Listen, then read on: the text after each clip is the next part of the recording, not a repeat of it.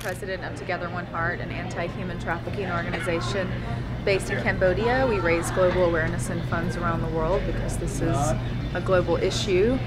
But I just got back from Cambodia about 48 hours ago. Um, come here.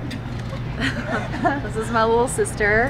Hi. Um, she's coming to Cambodia this year. I'm really excited for her to meet all of my onsrai, all of my little sisters that she doesn't know I have.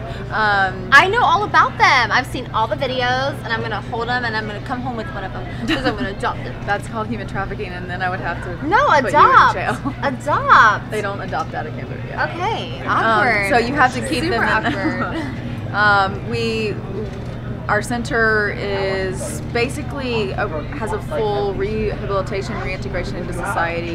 So it's our, we call it our three R's: rescue, rehabilitation, reintegration.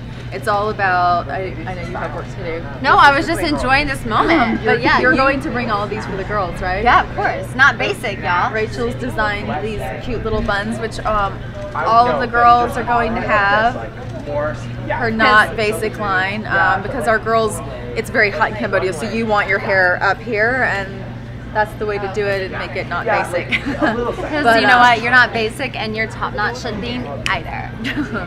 um, Okay, I'll let you get back to it. You Okay. seem like having a very amazing moment. Okay. I love it. In between Um, the angel wings. So basically, the most important part of our program and something that's very dear to my heart is we use art therapy, right? So one of the first things we do with our girls is we teach them dance, we teach them singing, we teach them acting, which obviously has been my outlet throughout my life dealing with my own personal trauma.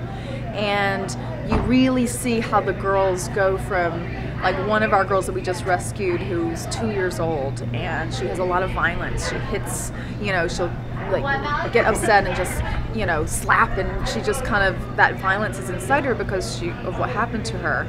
Within a couple of months i'll go back she'll be having a normal childhood like a normal little girl because she has peer-to-peer connections. She's taught forms of expression obviously pre-verbal. She can't really fully talk right now. So art dancing singing all these things help her get that toxic energy out of her help her heal and help her actually have a life with sustainability and an opportunity to have a better life than she possibly would have had otherwise. So it's an amazing program. It's very dear to my heart. It's saved me in so many ways. And if you want to check it out uh, at together number one uh, or that's our instagram together number one heart.org is the website or you can follow me at the annalynne mccord on instagram. I'm always posting and instagramming about my girls so check it oh, out